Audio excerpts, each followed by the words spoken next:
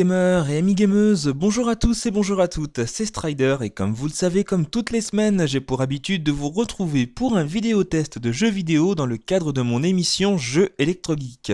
Et avant toute chose, bien entendu, pour ce tout premier épisode de Jeux Electrogeek de l'année 2011, j'ai envie de vous souhaiter une nouvelle fois une très bonne année et une très bonne santé.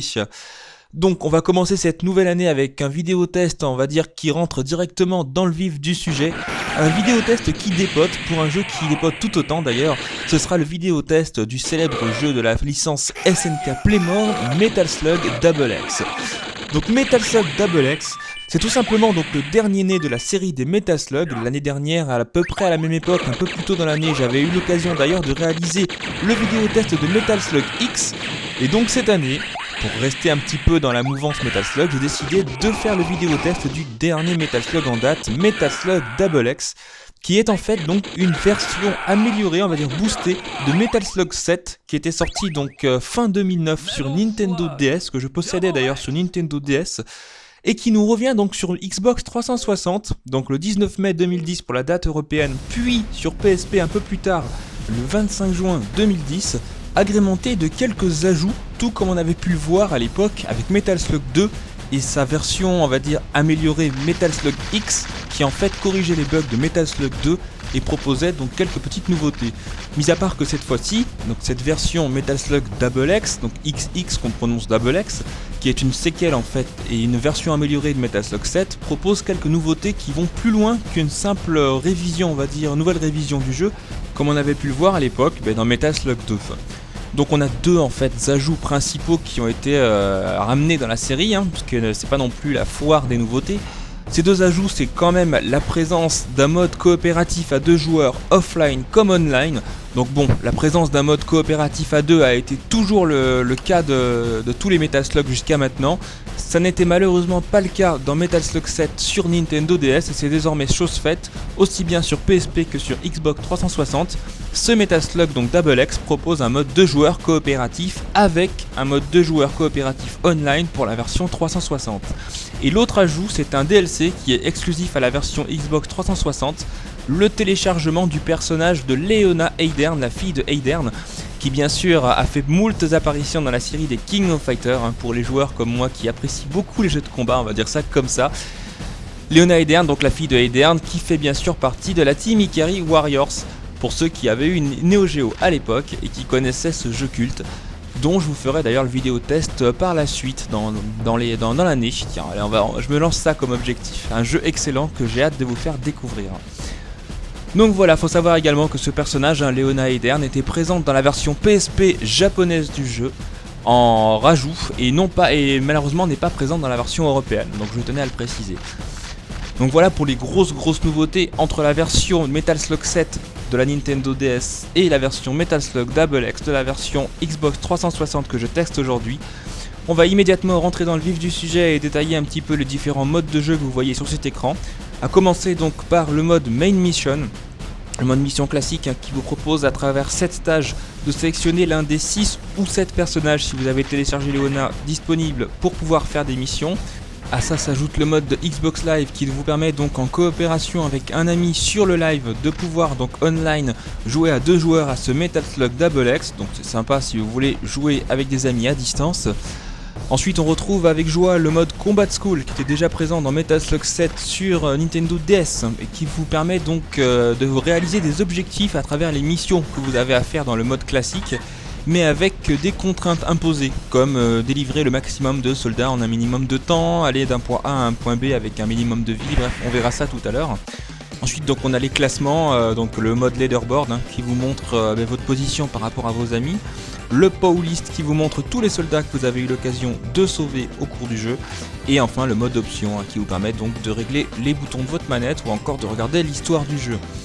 Donc on va immédiatement rentrer donc dans le mode Main Mission qui comme vous le voyez ici vous propose un mode 1 ou 2 joueurs comme dans tout bon Metal Slug qui se respecte ainsi que la possibilité de déterminer son niveau de difficulté parmi trois choix débutant normal ou difficile comme c'est le cas depuis Metal Slug 6 ou lorsque vous sélectionnez d'ailleurs le mode débutant, vous ne pouvez pas affronter donc euh, le boss final du jeu, puisque pour le 6, hein, ça s'arrêtait au niveau 4 le jeu, fallait choisir forcément normal ou difficile, Et pour ce Metal Slug 7, je crois que c'est également le cas, même si j'ai pas véritablement testé, puisque j'ai directement démarré en mode normal.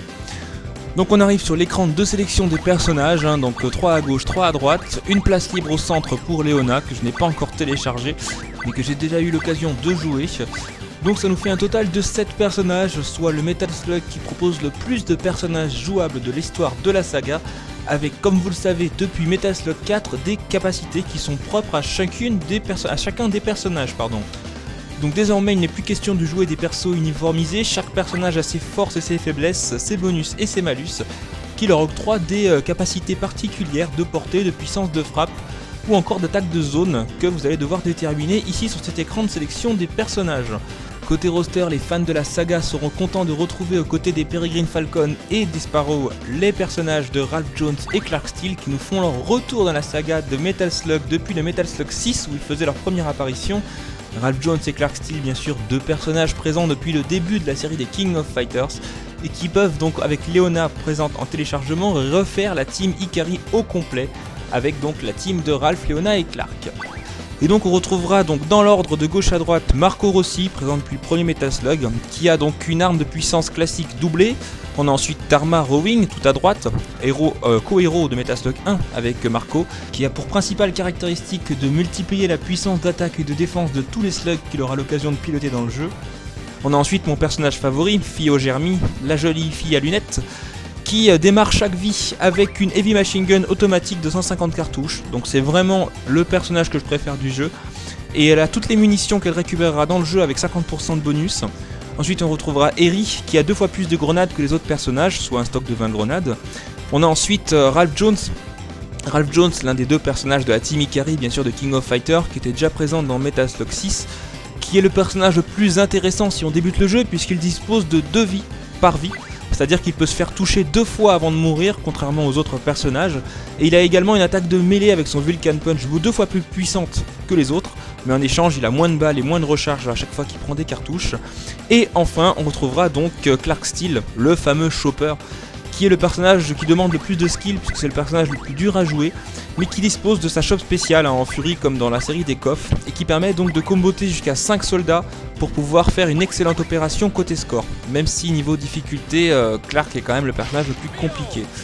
Enfin, on aura donc Leona Hidern, le personnage le plus craqué du jeu. Elle retrouve son coup spécial, le Crescent Moose Clash de King of Fighter, qui se faisait bas 2 secondes au point et qui donc a le même effet que la Z-Sword, l'une des armes les plus puissantes de la série des Metal Slug, qui a pour propriété d'éliminer les ennemis très rapidement, de détruire les projectiles. En plus, elle est invincible pendant cette attaque, elle a une très grande portée de frappe, elle a une augmentation de la puissance de ses armes de 20% ainsi que de ses euh, grenades. Et pour couronner le tout, elle conserve ses armes bonus entre chaque vie perdue. Et allons bon, c'est parti, c'est la fête du slip, vous avez demandé un perso cheaté, ne quittez pas, un opérateur va vous répondre.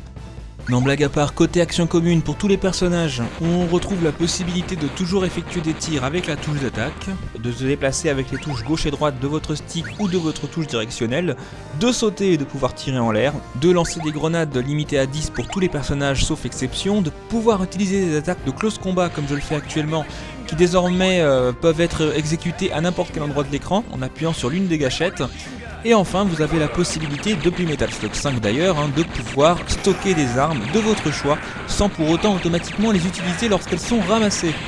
Donc comme vous le voyez en bas à droite, enfin à gauche de l'écran, vous avez donc euh, deux petites euh, icônes, hein, deux, deux, petits écussons qui permettent d'indiquer quelles sont les armes que j'ai stockées actuellement. Ici vous avez un H qui symbolise le Heavy Machine Gun, la mitrailleuse lourde. Et donc vous avez la possibilité comme ça dans le jeu et à n'importe quel moment de stocker, jusqu'à deux types d'armes disponibles lorsque vous avez ramassé. Il faut savoir que lorsque vous ramassez une arme bonus, celle-ci remplace automatiquement l'arme que vous avez stockée en première position. Et donc c'est à vous donc de vous organiser de manière à récupérer toujours les meilleures armes pour pouvoir ensuite les ressortir au moment opportun, lorsque vous aurez à affronter un ennemi relativement bien blindé ou lorsque vous affrontez un boss tout bêtement. Donc bien sûr, lorsque vous mourrez, vous perdez toutes les armes que vous avez stockées et euh, le fait de vous faire toucher ne serait-ce qu'une seule fois vous conduit irrémédiablement à la mort, sauf si vous jouez avec Ralph Jones. Donc euh, voilà pourquoi Metal Slug est un jeu extrêmement compliqué, c'est le moins qu'on puisse dire. Mais quand on aime, on ne compte pas. Et parfois, euh, la difficulté, comme je disais, renforce le challenge et la durée de vie d'un jeu. Et c'est complètement le cas dans la série des Metal Slug. Et c'est aussi pour ça d'ailleurs que j'adore cette série. Donc au niveau du cockpit de jeu, on va commencer par décrire ça. Vous pouvez voir donc en bas à gauche de l'écran mon stock d'armes comme je l'ai indiqué. Vous pouvez voir également le nombre de soldats que je délivrais, puisque dans la saga des Metal Slug, depuis le premier épisode, le but est également de délivrer des prisonniers de guerre donc euh, qui ont été faits prisonniers par l'armée du général Morden. On en viendra tout à l'heure au scénario du jeu. Donc à chaque fois que vous en délivrez un, vous avez un multiplicateur en haut qui monte et qui augmente relativement votre score si jamais vous arrivez à finir le niveau en conservant les soldats délivrés, en sachant que chaque vie perdue vous fait perdre tous vos soldats stockés. Donc après c'est à vous d'être bon et de réussir à finir chacun des niveaux sans perdre une seule vie, ce qui constitue un véritable challenge. Vous avez une toute nouvelle jauge qui était apparue dans Metal Slug 6, la jauge de tir continu qui quand je vais euh, éliminer des suites d'ennemis va me faire monter une colonne de couleurs. Regardez en bas à gauche de l'écran, vous voyez des zones de couleurs montantes.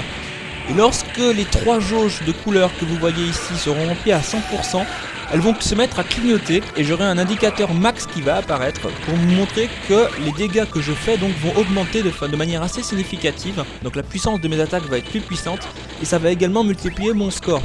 Donc le but c'est non seulement d'éliminer les ennemis dans ces nouveaux Metal Slug, mais également de maintenir la jauge max le plus longtemps possible de manière à multiplier la puissance de vos attaques et à multiplier votre score. Donc c'est très difficile à faire dans certains niveaux, même si euh, il y a énormément d'ennemis à l'écran très souvent.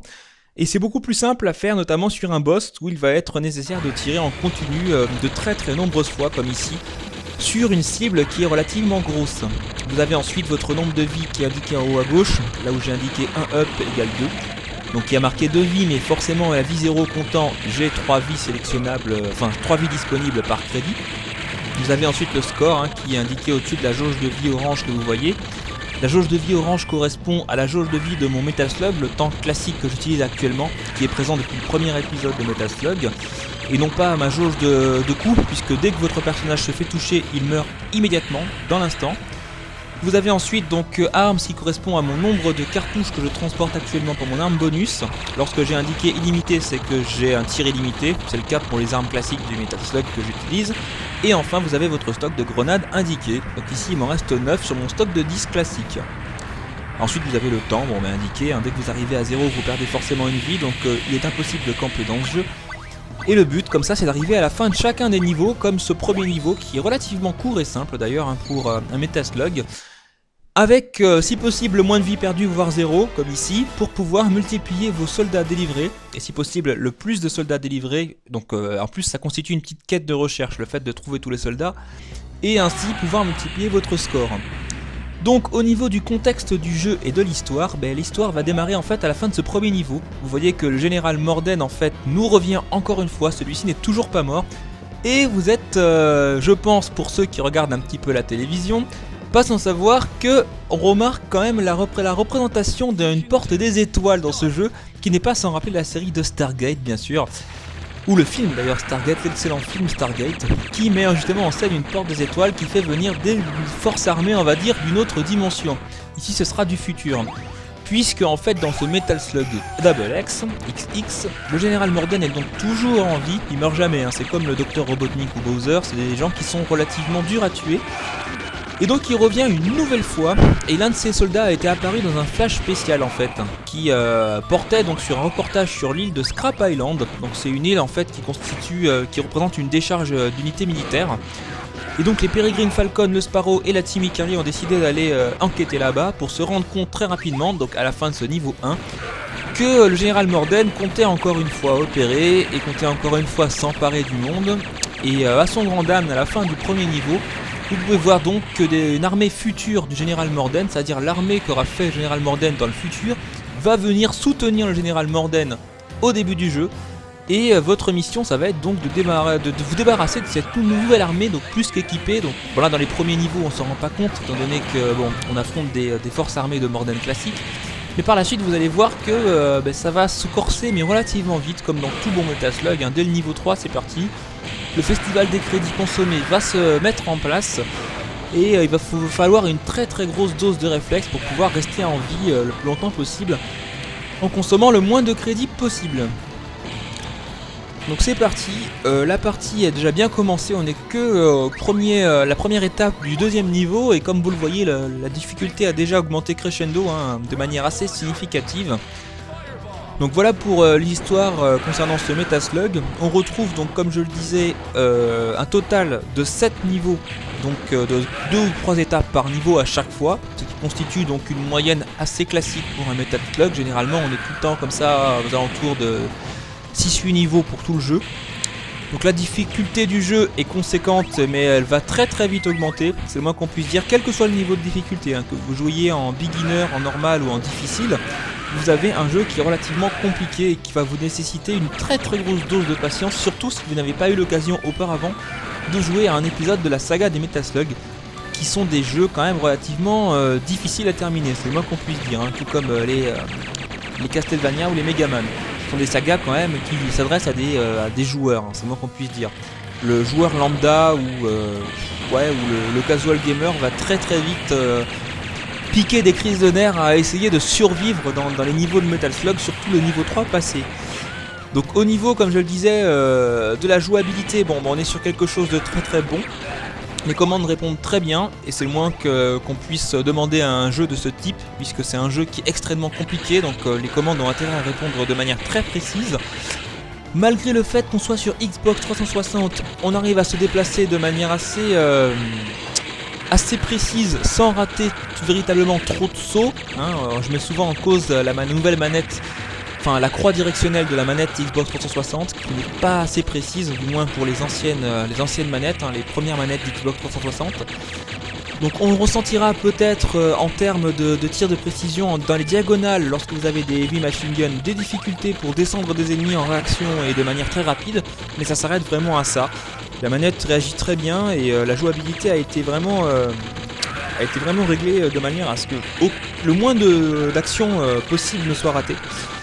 Donc au niveau des graphismes, on est sur un jeu 2D classique, on est sur du Metal Slug, donc on retrouve la charte graphique qui est présente dans chacun des Metal Slug, à savoir donc des graphismes qui sont relativement fouillés, on va dire dans les Metal Slug, avec pour, pour le coup pour cette version de Metal Slug une refonte graphique qui euh, a déjà été présentée dans Metal Slug 6, c'est-à-dire que contrairement aux anciens Metal Slug, on n'a pas un dessin euh, uniformisé.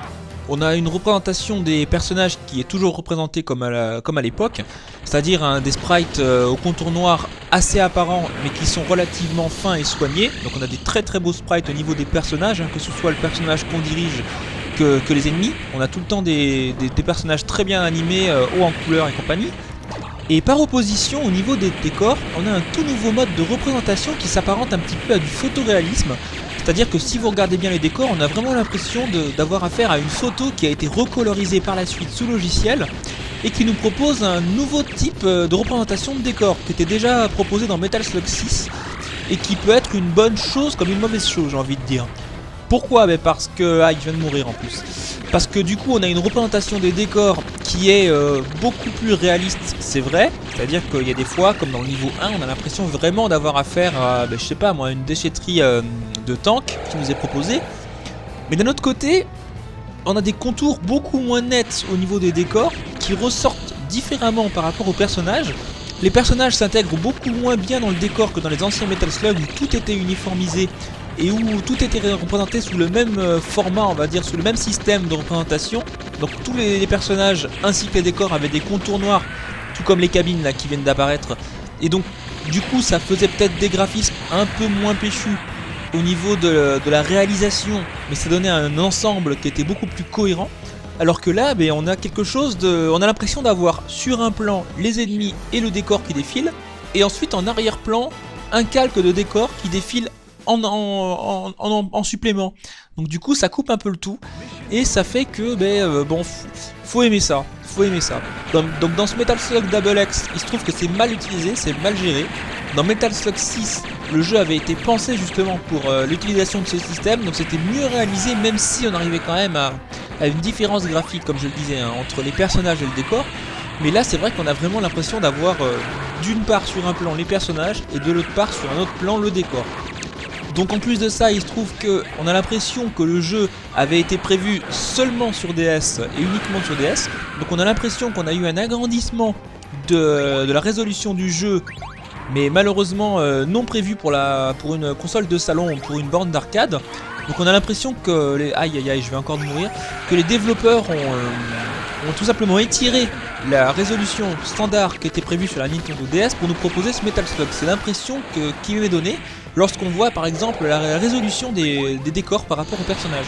On a l'impression que les décors sont flous, euh, qu'ils ont été étirés pour pouvoir donner euh, ce format là, et qu'on a des contours beaucoup moins nets, euh, avec vraiment voilà, des, parfois des, vraiment des, zones de flou qui sont assez significatives. À ça s'ajoute également un ensemble de couleurs qui est relativement terne et froide, le moins qu'on puisse dire, c'est que quand on joue à ce Metal Slug, si on regarde bien dans l'ensemble, au niveau de, la majorité des niveaux, on a des couleurs qui dans l'ensemble sont froides et ternes.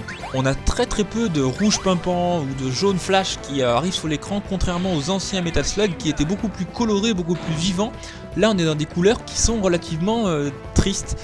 Euh, c'est le moins qu'on puisse dire, par exemple, quand on voit ce niveau, on est voilà dans des teints, bon c'est clair de, métal, hein, dans un décor un petit peu comme ça, mécanisé, mais c'est souvent le cas dans les anciens Metal Slug notamment également, et on arrivait quand même à avoir des couleurs qui ressortaient beaucoup plus.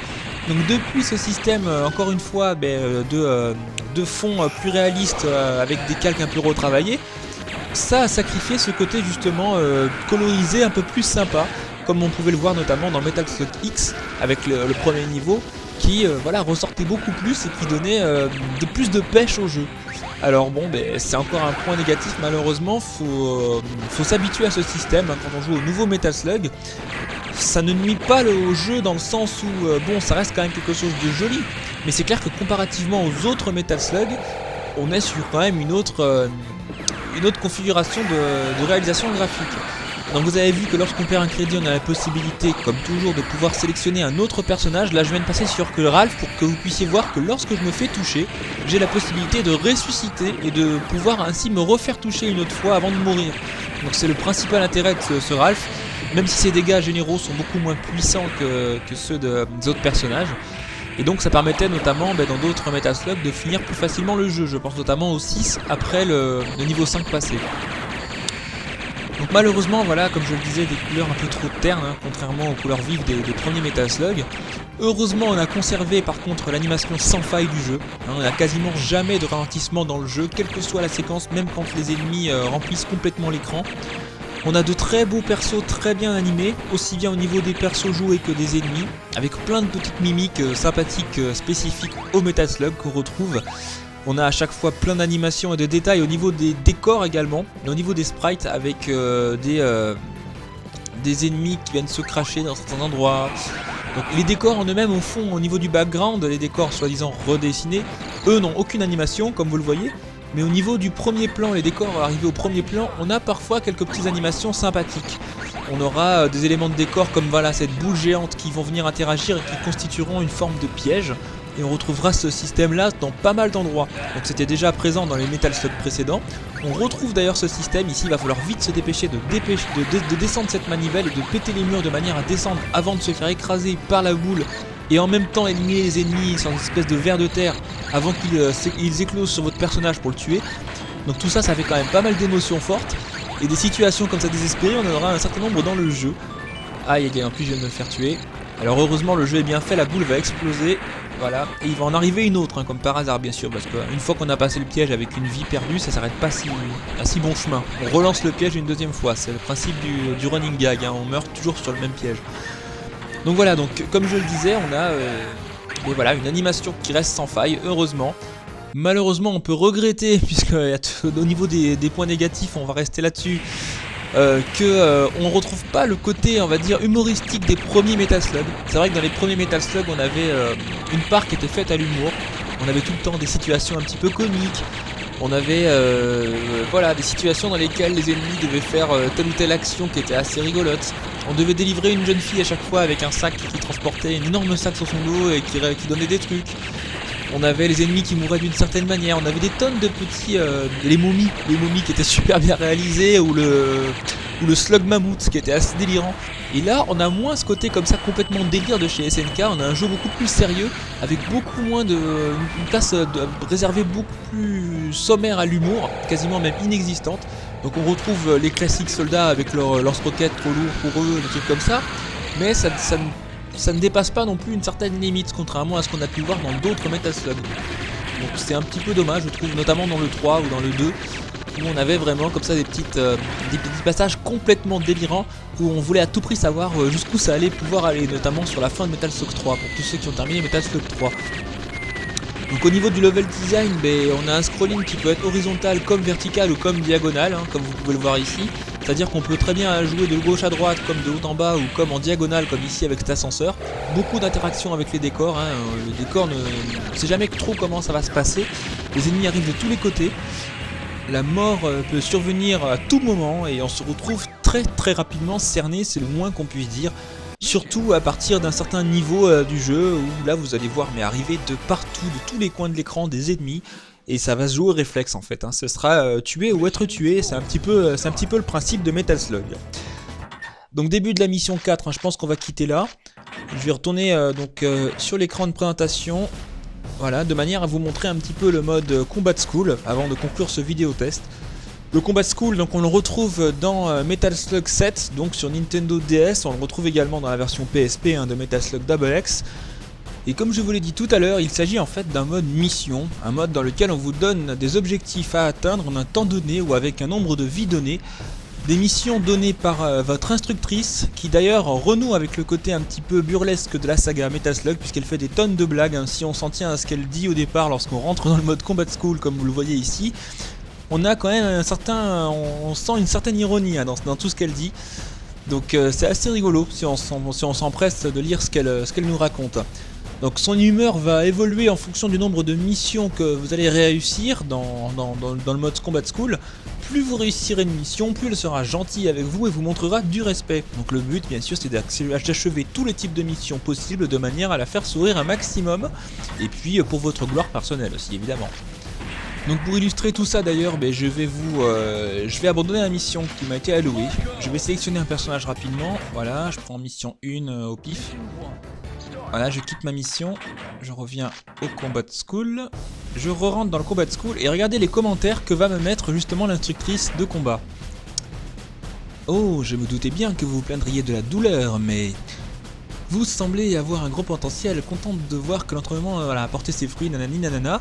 Et donc encore, si je parle à l'instructrice, voilà, je vais pas lui parler tant qu'à faire, qu'est-ce qu'il y a Vous désistionnez déjà? D'accord, si c'est juste quelques minutes, on va discuter. Depuis que je travaille ici, j'entends que des cris, des machins, des démarches militaires, j'en ai marre, quoi, un problème, l'entraînement c'est trop dur, nanani nanana. Et elle peut vous parler comme ça pendant des heures à vous dire, évacuez vos problèmes à l'entraînement, euh, non, je ne veux pas dîner avec vous, euh, comment ça j'ai du temps libre, nanana. Bref, ça va durer super longtemps. Donc pour éviter tout ça, vous avez des missions à terminer avec un classement qui vous est donné à la fin. Lorsque vous euh, réussissez votre mission, même si vous ne la réussissez pas, vous avez un classement. Et le but comme ça, c'est de réussir toutes les missions proposées dans le Combat School. Et croyez-moi, il y en a un bon, un bon paquet. Donc j'en ai fait que très peu, étant donné que j'ai déjà joué sur la version PSP du jeu. J'ai eu l'occasion à l'époque de démarrer cette version Metal Slug grâce au magnifique bug Microsoft qui a permis pendant quasiment 4 ou 5 mois jusqu'à la nouvelle mise à jour du dashboard de la 360 de pouvoir jouer à quasiment tous les jeux SNK Playmore, excepté Neo Geo Battle Coliseum, totalement gratuitement et sans restriction de mode de jeu. Donc euh, vous imaginez bien que ça m'a permis de me faire les mains, on va dire, euh, sur ce Metaslug Double X en version 3.6. Donc au niveau des nouveautés également, au niveau des slugs, vous pouvez voir ici le plus impressionnant des nouveaux slugs, le slug giant, un énorme slug avec lequel vous aurez euh, à faire une mission quasiment entière.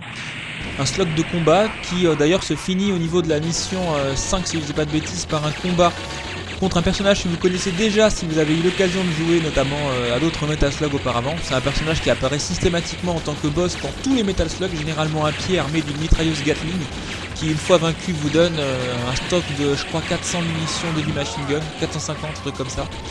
Donc euh, bon, un personnage culte qui revient ici armé lui aussi d'un slug giant. J'ai oublié son prénom d'ailleurs, je suis en train de le rechercher en même temps que je vous l'explique.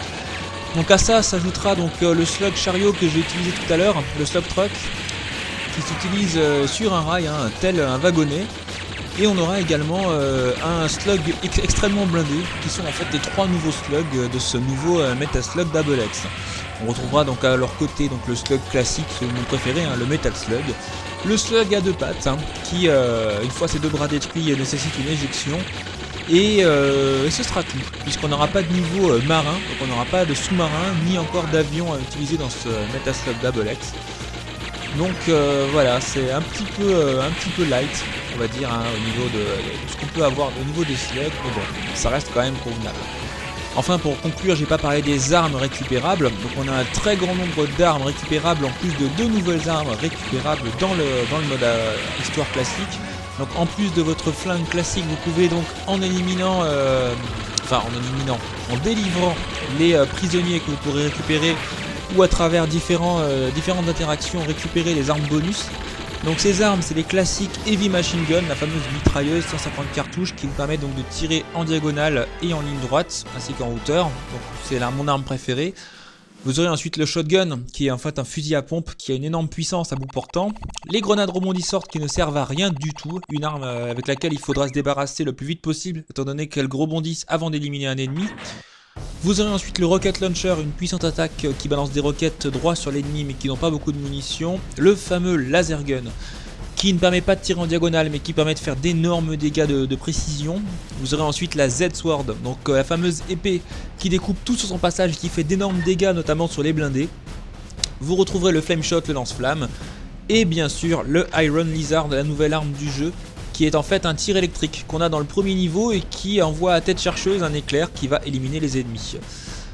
Enfin, donc au niveau de l'OST du jeu, on va toucher le point fort du jeu principal pour ma part, en dehors du mode euh, histoire que j'ai trouvé sympathique.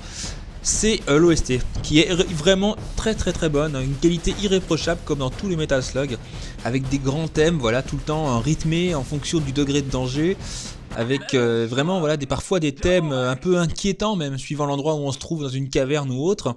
Et puis toujours voilà des thèmes euh, épiques euh, avec façon grandes épopées comme on a pu le voir notamment euh, dans certains films avec des croisades ou, façon vieux western tout bêtement. Mais vraiment très vieux western hein, avec des thèmes sifflés parfois qui, me rappellent vraiment des, vieux westerns qu'on a pu voir alors plus vieux que ceux de, de Clint Eastwood et Lee Van Cleef hein, vraiment les, westerns avec Gary Cooper ou principalement même j'ai un souvenir précis de Josh Randall le héros de Au nom de la loi pour ceux qui s'en rappellent, avec le générique. Bon,